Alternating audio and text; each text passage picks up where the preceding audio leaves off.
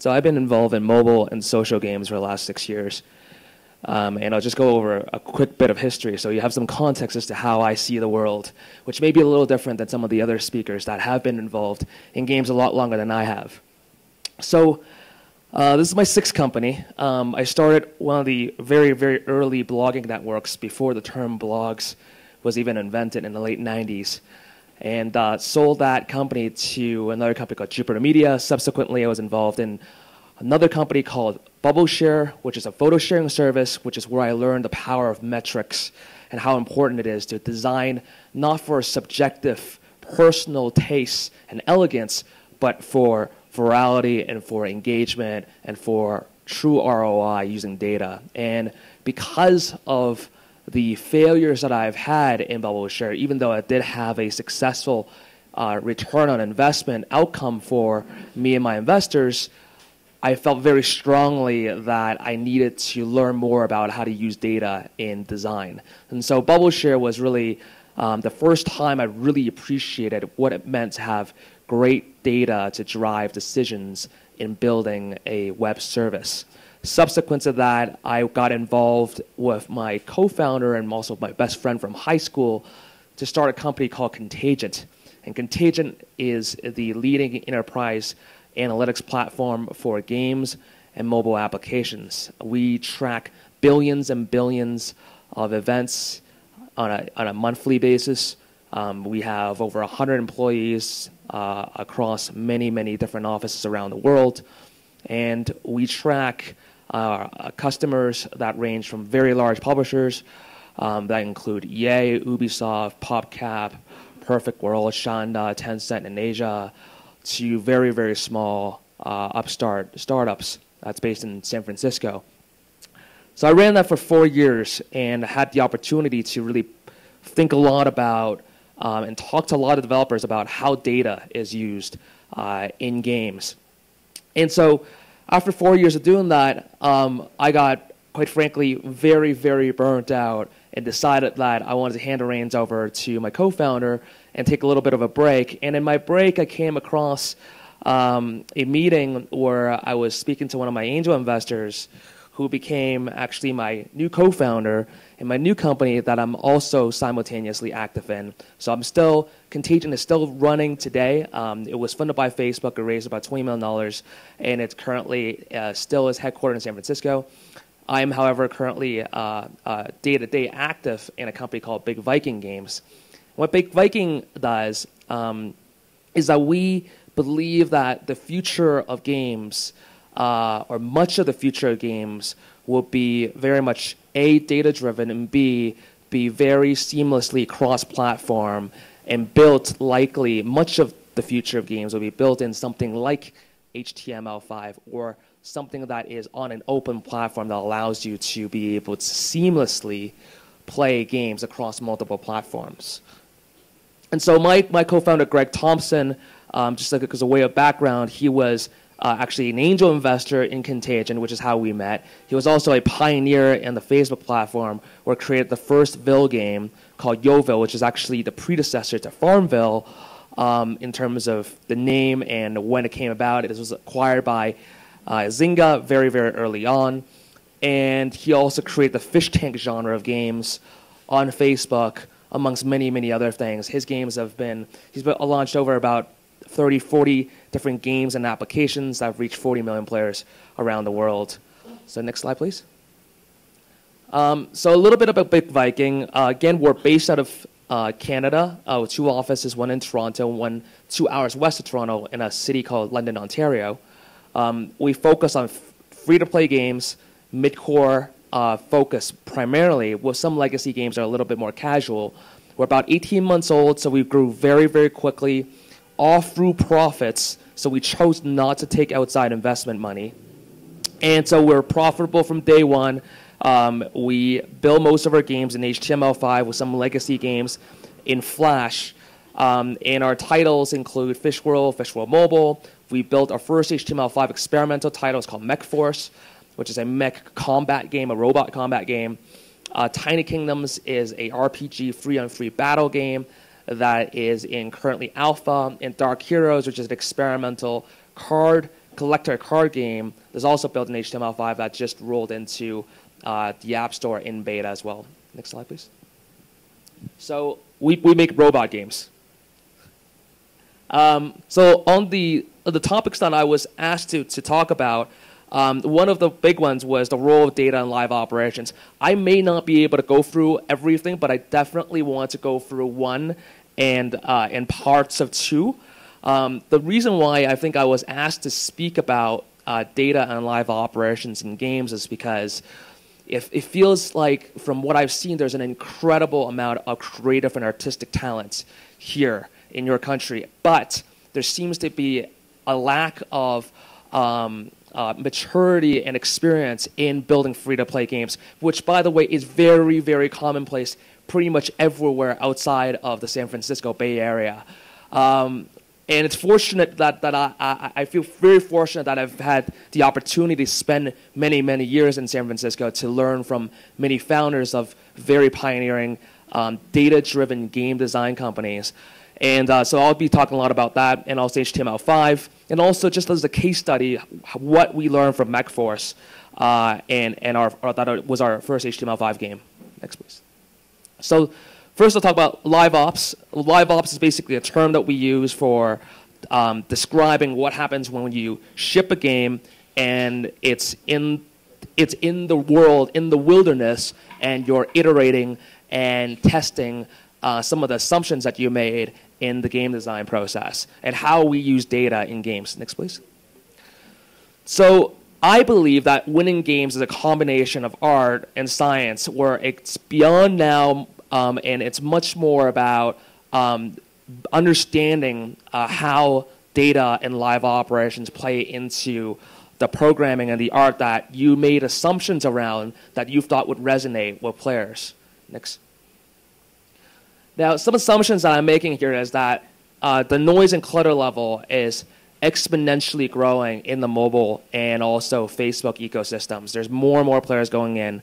There's more and more competition that is more sophisticated than before. You look at the first, second generation of games in mobile, and a lot of them were very much experiments uh, in how to use a touch device, experiments in how to translate an existing game mechanic that worked in a potentially non-free-to-play world or the web world or console world and making it work in a touch device that is you know, a, a very, very different environment to, to getting it to free-to-play and making it such that it monetizes uh, in a way that makes sense uh, in the environment that it's, it's living in. And then, and, and then these sophisticated peers that you're now competing with are progressively uh, becoming more data driven about how they develop and iterate their games.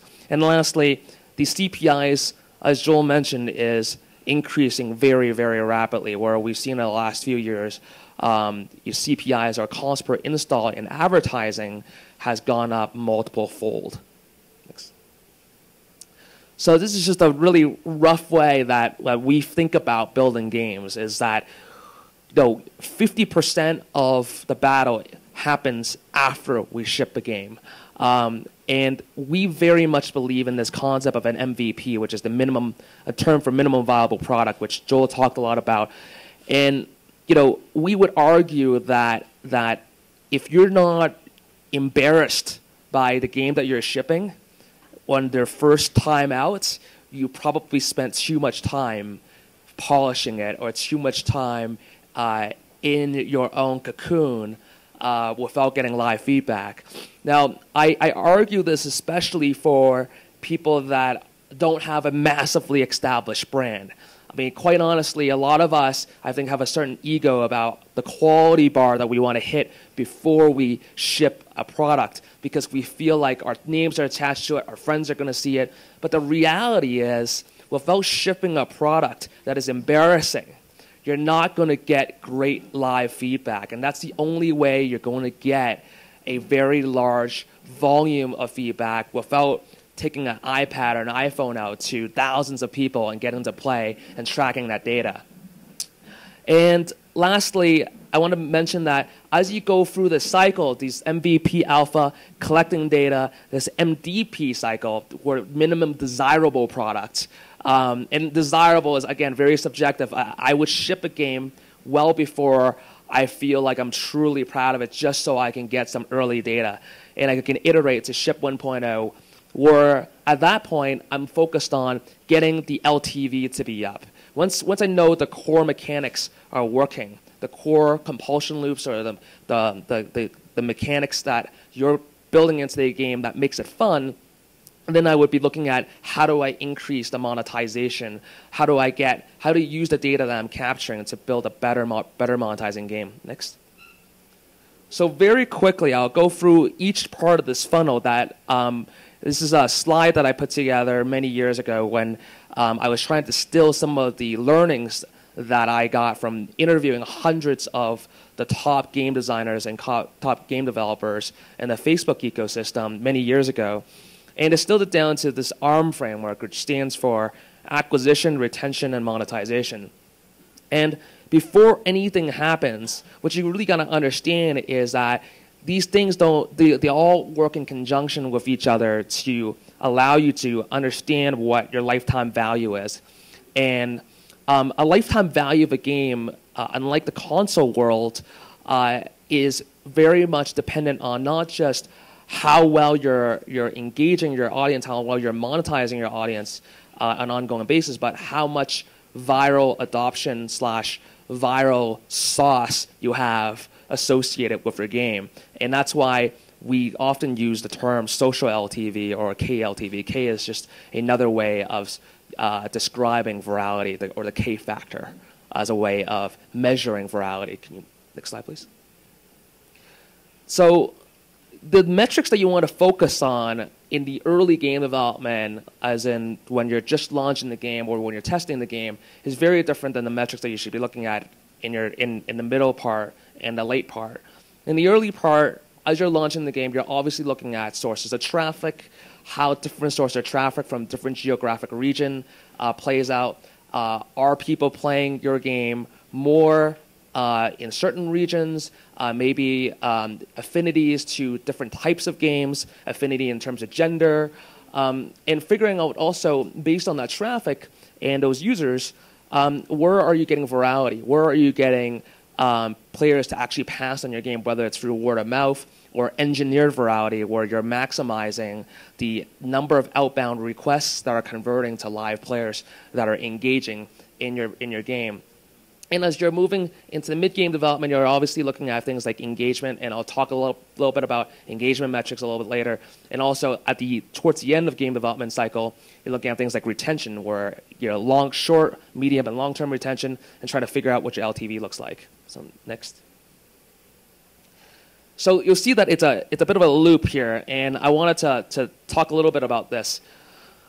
The um, at the top of the funnel, you have new users. So they come from either non-viral users or they're coming from viral sources. And viral sources tend to be either word of mouth or they are Facebook invites or they're uh, SMS invites. And at the top of the funnel, you want to segment each of those types of users because what you want to look at is um, what is your customer acquisition cost if you're paying for users from different channels? Um, how are you targeting those users? What kind of ad campaigns uh, and ad creatives are yielding the highest ROI? You may want to play with CPM ads, which is paying on display versus paying on an install basis. You may want to target um, uh, different ad networks that are both incentivized or non-incentivized uh, ad networks. And as, as you're going through the funnel, you're retaining these users, you're monetizing these users. Uh, this ultimately drives your, your, your LTV, which would then obviously affect how much on the CAC you're able to spend. So CAC is an acronym for customer acquisition costs. And the more you're able to drive retention, the more likely you're going to be able to drive virality, and I'll, I'll get to that a little later as well. So one way of measuring um, uh, or reducing acquisition costs is K-factor. Now, the virality of games inside of Facebook and mobile has, well, mobile has always been challenging, which is one of the reasons why actually believe that there is now an, a, a new, new wave of opportunities to come back onto the web where a lot of people, you know, kind of swung way too hard the other way, moving away from Facebook into mobile. And now we have Facebook where they're much more aggressive and much more developer friendly than they were before. They actually answer your emails now. They actually want you to develop on their platform, and they're providing you with new channels to uh, connect with your users and, and, and opening up more viral channels than they, they once had. Um, so while virality has become much more difficult, it is still possible, and it's an important piece of reducing your customer acquisition costs. Next, please.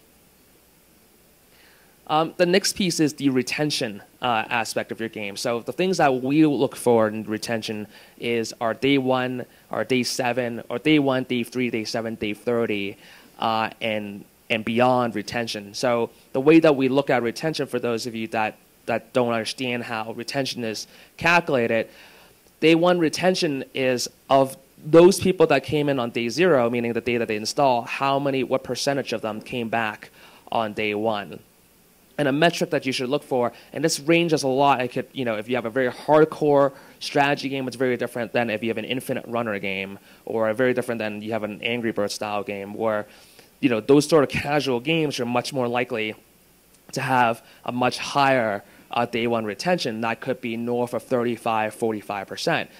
If you're in more on the core market and you're not getting, you're not paying for great sources of traffic, um, you could be looking at day one retention that are in the low teens or the low 20s. So it really depends on what type of game that you're currently working on.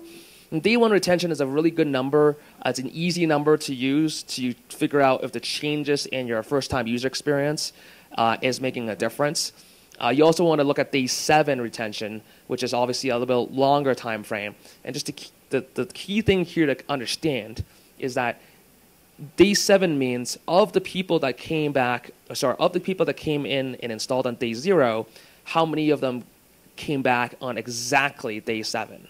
Okay, so that, that is a very important uh, number uh, and definition to understand because there's lots of different ways that you can look at day seven retention, and this is typically the way in which most of our peers look at day seven retention.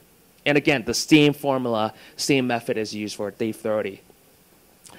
Um, and then uh, uh, the second, the, the, the number four, and number five here are sessions per user and average session length. So these are looking at retention based on uh, how many sessions over the lifetime of the user to date are they uh, logging on, and how frequently um, are they playing uh, the game, um, and also how long uh, each session is like. And you, what, what, we try to do is we try to cohort users or group users based on uh, different entry points. So entry, a, cohort could be defined by um, sources of traffic, or a cohort could be defined as um, a certain geographic region, or, or, a cohort could be people that installed greater than 30 days ago or greater than 90 days ago, how they uh, behave differently and try to understand how changes and iterations in your game that you're creating uh, are impacting various cohorts of those users. These are very important things to track because if you're not tracking them, you won't understand how people are actually behaving um, in different groups that you may want to uh, keep around and cater to. And then the last, last number five is just average lifetime per user, which is, you know, at which point do those users tend to churn out based on different cohorts of users. Next, please. And then finally, monetization. Uh, the two key numbers that we look at are average revenue per user and average revenue per paying user. And um, be careful when you're looking at these numbers because there there is a um, uh, there's there's a change in in the ARPU or the ARPDAU, the average revenue per daily active user, as a game matures. And so if you if you're just going to look at the entire user base and you spent um, a bunch of money at the beginning uh, with a, a, certain type of user, and then as later on you may have you know spent um, a lot less money on, on a different group of users. Each of those groups of users will have different ARPUs. And so if you're looking at just ARPU across the board, you're going to have a, a very noisy set of data to, to be making decisions off of. So it's very important that you segment your users uh, when you're looking at numbers like ARPU and, and ARPUPU. Um, and then finally, percentage of paying users, uh, a very key number. You know, trying to understand what percentage of users are actually paying will help you figure out you know how well you're doing, but also segmenting them down again against uh, different cohorts and different groups is going to be very important. So so in in um, uh, as a final sort of uh, overview, uh, again, as you are looking at different stages of the game, as you enter into different stages of the game, you should be looking at different types of metrics and always be thinking about your metrics from on a cohort basis, especially if you're going to be spending money or effort in acquiring new users from different groups. So the next piece I'll be talking about is uh, HTML5, um, and I'll try to fly through this quickly. So games everywhere and instantly is sort of the vision for HTML5 games. Next. Instant updates. Being able to just uh, on, a, uh, on, a, on the fly uh, create a new button, create a new mission, create an entirely new game uh, mechanic, and have it instantly updated across multiple platforms without a, a, a patched update through the App Store where you have you know one or two week review uh, period was the primary driver. Because if you're not iterating quickly, if you're not updating quickly, um, or you don't have the ability to update quickly, all the data in the world is not going to matter. You can have great insights, but if you can't update quickly and test quickly, you can't you can't take advantage of the data that you have. Playing everywhere and anywhere, being able to you know go from playing on the phone on the bus, and then as you get to work and you're sitting down at your PC, continue playing on your PC and Facebook. That is the vision of HTML5. That is something that we're building towards. Next, please. Synced across all platforms. So it's not just about being able to have um, a, a Flash version and an Objective-C version on mobile, um, but being able to have the exact same experience across multiple platforms. And that means that, you know, if I change the UI in my web version, it's instantly updated on my mobile version and vice versa. And that's super important if you're building a mid-core game where you don't want to give a, a particular uh, audience a, advantage or a disadvantage because you're not able to keep the updates in sync. So instantly play is something else that's really important, uh, and I believe is the future of of a lot of games uh, in the free-to-play world. Being able to not just um, not just lowering the friction by making the games free, but also being able to play them instantly anywhere um, without a download. Next. So you might be thinking, well, there's other cross-platform technologies out there that you could use, uh, and I'm sure you guys are familiar with many of them. Air, with Flash, Unity, and Game Closure, um, which is more of a uh, uh, an extension of HTML5. Um, so I'll go through Air. So Air, Air has gotten a lot better, but it still has uh, uh, many development issues. Um, uh, one of the biggest challenges with using Flash and Air today is that Adobe's clearly shown that they're not fully committed to the platform. Um, Flash is something that I think is a great solution for building a game today. But if you're looking at you know building for something in the future, I think there are better platforms to invest in. Um, it's still very much very powerful, uh, mature tool set for the web. On the mobile, you'll find that the performance uh, is still not where uh, it could be uh, compared to a, a, native game. But again, you have the advantage of being cross-platform. That said, you can't dynamically update on iOS. That you know, doing this is something that is very, very important to us because it allows us to use our data to make our games better more quickly, without a, a, an update lag. Unity, great for 3D. The 2D is not as mature. The 2D, however, has gotten a lot better with the most recent update. Um, if you want it to be seamlessly available on the web, which again, mobile, while it's huge, there's still many, many users that are on PCs playing games. So on the web, it's not quite as good because you do still have to download a plugin.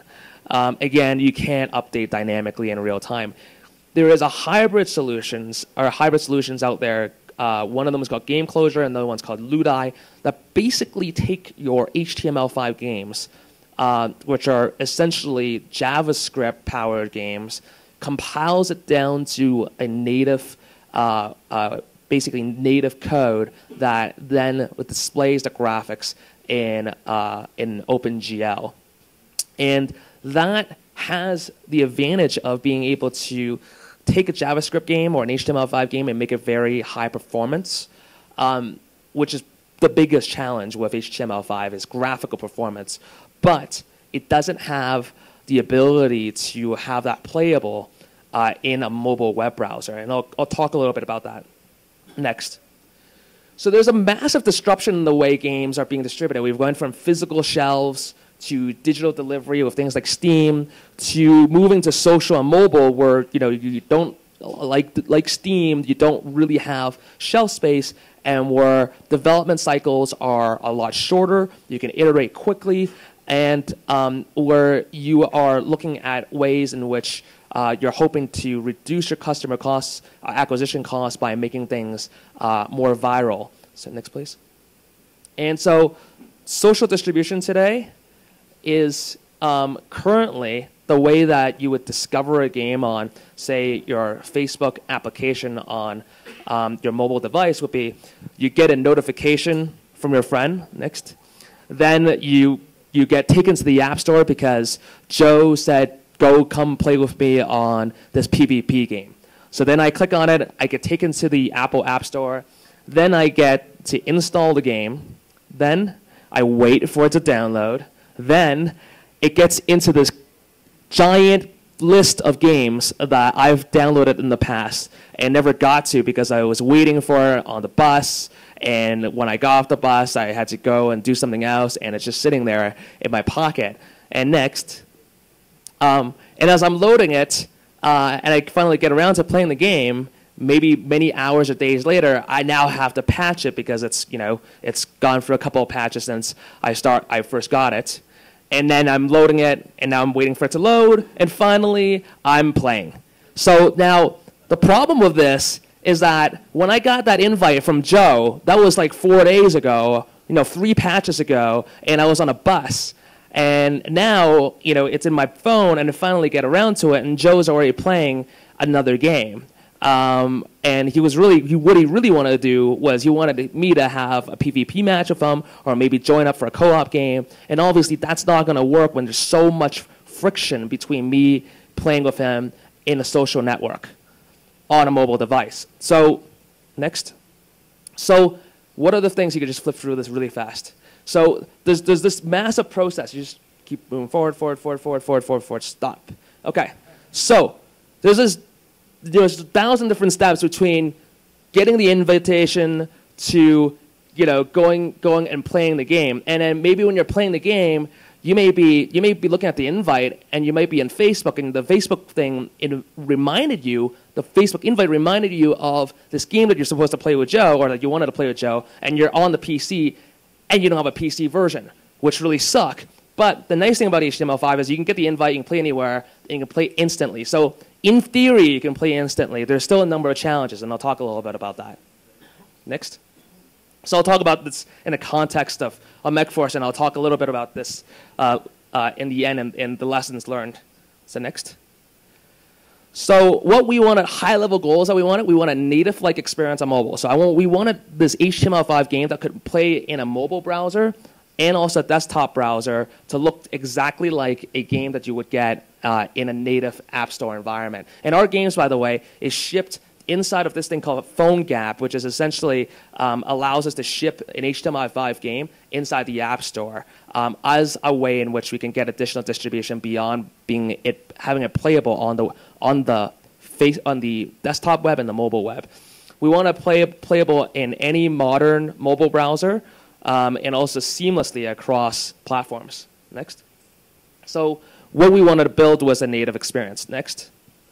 And so not native experience and not a website that's been jammed into a game. Now, I, I absolutely respect the, the, the, games that have been built here because they've been incredibly successful, but we felt very strongly that we need to evolve beyond the idea of having a scrollable page of HTML5 uh, in, you know, jammed inside of a, a, a iOS wrapper. Next. And we want to make something that was more like this, where you have isometric views of games. You have, uh, you have the ability to play a game that didn't require you to scroll up and down a menu, menu page. Next. And so we made this. Um, this took us 12 months, uh, and in, in, in, I would say that the, in the 12 months with dozens of people involved, uh, we learned a lot. We failed even more. And, uh, but the, the good news for us, anyways, was that we were able to uh, really appreciate and understand and create uh, a very powerful engine from the experiment that we have with MechForce, which again is a game that involves robots that were procedurally generated on the client um, and with you know millions of different combinations of uh, heads, arms, weapons, and, and legs. Um, with an isometric view that is all done in HTML5. And so there's two things that, that uh, are very important to understand with HTML5. There is desktop browser HTML5, and there is mobile HTML5. Uh, mobile HTML5 is a lot more challenging to make responsive. Uh, in fact, I would argue it takes four to 10 times longer to build something in HTML5 from scratch than it does to build something uh, in Unity or Flash. And it would be half as fast. Uh, so it's brutally inefficient and expensive. But there are obviously significant advantages, and we had to break down a lot of barriers to get something to play like this in, in an environment where it's somewhat responsive. And going back to what I mean by desktop and mobile, desktop HTML5 is relatively easy to make responsive because you have the ability to tap into a very powerful CPU. On a mobile device, however, these things are a lot slower. Um, the browsers are a lot slower, the CPUs in these things are a lot slower, so you have to do a lot more uh, optimization, which is why things take four to 10 times as long to build. Next, please. So we have missions in the game next. We have, um, we have the game simultaneously working uh, on a, a, mobile device as we do in Facebook. So anytime it change any of the buildings, the game mechanics, the, the, the, buttons on one on, on the mobile device, it instantly gets reflected in the uh, desktop. And why is this important beyond the fact that it makes for a better player experience? It also happens to be good business. Um, being able to, we've seen a lot of data from our peers that show that if you have a game that uh, exists both on mobile and also on a desktop PC, the, uh, the revenue per user is significantly higher. And this is especially important when you're looking to build a game for a mid-core audience. Next, please. So now we're working on something totally different on the engine that we've built over the last 12 or 18 months called Tiny Kingdoms. Um, it's a game that uh, should be rolling out uh, in the next uh, quarter, so hopefully you guys will be able to check this out. And so I'll just wrap up with a couple of things about HTML5 challenges. And so on the one hand, you might think, why are you building uh, HTML5 games when it's so much more expensive and so painful? Um, when, when the performance is literally, you know, uh, when you work 10 times more than native, you get half the performance. And this discovery is really crappy because uh, ultimately you have to ship it on an IO, uh, like in the App Store, uh, and you're not really getting any real benefits behind uh, that. Uh, and if you were to make it so that it's available on the mobile web, there's no um, you know icon that gets downloaded. And in payments, there's no common payment system uh, that makes it easy, like iTunes or the the Google Play Store that allows you to do one-click purchase. Why will we do this? I'll get to that. It's not just because I'm insane and crazy. Um, so challenges and trends. So performance, we talked about. The, the, the are, there are good news. There is good news to HTML5. Um, we're getting, we're finding that the second generation of tools that we're building for ourselves, we're able to do things in half or a quarter of the time, which means that it still only takes four times longer, but, but it's still better. Uh, and, and it only took us a year to cut the, the time by you know, a half or less. Um, discovery is an issue uh, if you're shipping outside the App Store. Um, but you know, PhoneGap, which is the, the packaging technology that we use to ship in the App Store, uh, uh is a stepping stone for us. And um, it's, it's also you know, building for mobile first uh, with HTML5 allows us to have a free version for the web that you can put in Kongregate or you can put on Facebook. Um, And rediscovery is an issue of a home icon, but Facebook is definitely helping us with that, with having you know the ability to have notifications show up inside of Facebook. And uh, and with the payments, well, there's no standard payments right now. We believe this is going to change. We believe that eventually Facebook will allow you to make payments on mobile devices. They already have, but not inside of games right now. They already are allowing for mobile payments with Facebook credits um, in a mobile device for e-commerce transactions. This is only a matter of time before we, we, we see, I believe, Facebook allowing for payments uh, in the open web uh, on a mobile device. Next. So the pros and cons. The pros are, there's a bunch of pros. Let's just go through, just click a couple more times. Let's stop right there. So um, these HTML5 is actually incredibly good for menu-driven games. Um, there's a, you have a single code base that allows you to be cross-platform. One of the biggest challenges, I'll give you an example. Uh, Kingdoms of Camelot with Kabam is obviously a very successful Facebook game. Started off as a Facebook game, uh, had a, a great audience, but they had a very difficult time carrying that audience over to mobile because they had a difficult time making sure that the mobile version kept in sync with their Facebook version, and they ultimately made the decision to make it two separate games. Um, had HTML5 been mature enough for them and available to them, they wouldn't have had to do that. They could have had a synchronized uh, code base that allowed them to be cross-platform very, very conveniently. Real-time updates across all platforms is huge. Um, we are building technology that allows us to deploy very quickly on uh, uh, Windows phone devices and Android uh, and BlackBerry. Um, you can very, very quickly do A/B testing with HTML5. So being aggressively testing things uh, is a lot easier when you're using HTML5 that allows you to do real-time updates.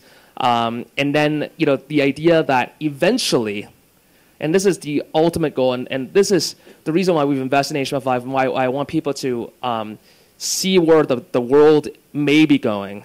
Uh, we believe it's going towards this direction of being able to play games uh, and discover games in the open web, um, and meaning open web on mobile. So being able to click on a link, you getting a link in, in your inbox, clicking a URL, and whether you're on PC or your, your TV or your mobile device, and you'll be able to load up a browser and immediately play without having to download a game with your friends. So the cons are, I think we've talked a lot about this already.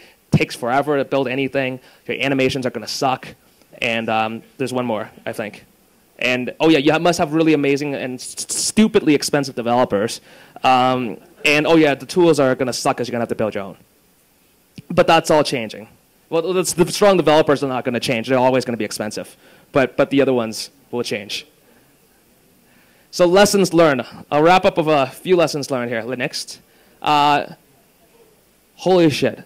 MechForce was probably like the worst project and experiment one could possibly create as a first time title for a new company.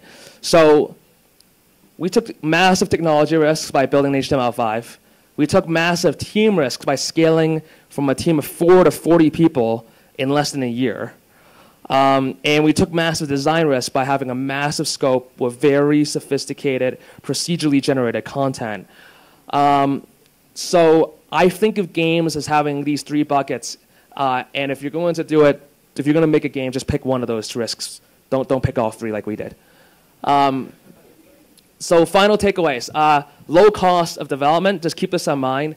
You, it's, it's, it's okay to not be in the top 25 you can still make money not being in the top 25. And this is super important because I talk to developers all the time, and everyone's like, oh, we're only going to be successful, we're in the top 25. Yes, you are going to be incredibly successful. You're in the top 25 of whatever you know, platform you happen to be. Um, but if your cost of development is low, and Toronto, in some, because of the government support that we have and the tax subsidies that we have, we have costs that almost are competitive to the cost of development here in Colombia. Um, so we've taken advantage of that as a part of our strategy to keep um, uh, our costs relatively low and execute against games that we feel could be in the top 50 or even the top 100, knowing that even if it hits the top 50 or 100, we will be return on investment positive or we'll be ROI positive. We'll still make money off games even if they're only in the top 100. And especially if you're going to be cross-platform and you're building with cross-platform in mind and cross across large amounts of geography. And the other thing is that keep in mind is that while this is an incredibly important formula, average revenue per user has to be greater than your cost per install.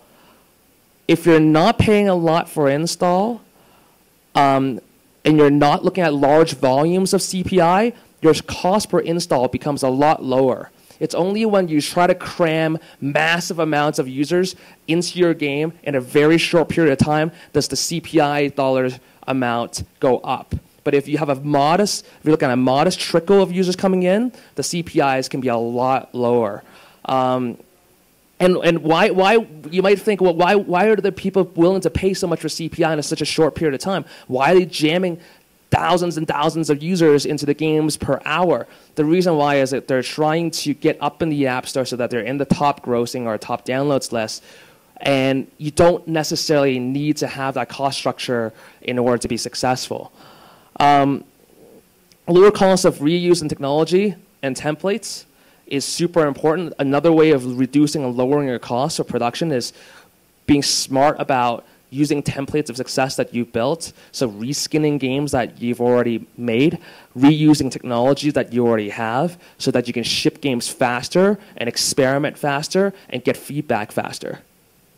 Be clever about traffic. So you can trade traffic with other people, work with publishers, like Joel mentioned, we can go and um, work with peers that, uh, that may have uh, high affinity uh, in terms of audiences to your games that, that where they have lower LTV than you have that may be willing to pass on users to you um, for a relatively low cost. And then also arbitrage and take advantage of nascent platforms that aren't as competitive. Get your games onto a Windows phone. Get your games on a uh, uh, BlackBerry, get your games on all these other platforms that are not super cluttered, that have ecosystem and platform partners that are willing to promote your game, profile your game for free because they are desperate for games on their platforms. And finally, um, uh, free to play is not just um, about building a game and shipping it. I advise most of uh, uh, my, my customers, when my, my Kontagent days, my friends, to save 50% of their budget on iteration. So spend half your money on building the, what you think is a good game, and then spend the other half of your budget on what will actually make a good game in the eyes of your players. And that's super, super important. And lastly, use data and always be testing. Always be testing. A-B test everything that you think you can come up with that would make a difference in the game and track that data. Uh, oh, I do have one more point. That wasn't the final point. Sorry. So MVP plus data plus fast iteration equals winning formula. This is what we believe. This is the philosophy of a company, and it's a philosophy of many very successful small game developers, especially um, because they don't have a necessarily a brand to protect, and they are able and willing to take some risks by throwing a game out there that may be embarrassing um, but they're able to capture lots of data and they're very aggressive about investing in systems that allow them to capture this data and iterate very quickly. Um, and I think that's it. Last slide. So call me. Um, we are we're hiring artists. Uh, we have a fantastic company. We are working with remote people, and also we're looking to hire people in our Toronto uh, in London, Ontario office. We offer free breakfast, lunch, and dinner. We, you know, we have we, we pay for overtime. We don't crunch, um, and uh, we have uh, stock options and very competitive pay. So that's that's the end of my advertising. Thank you very very much.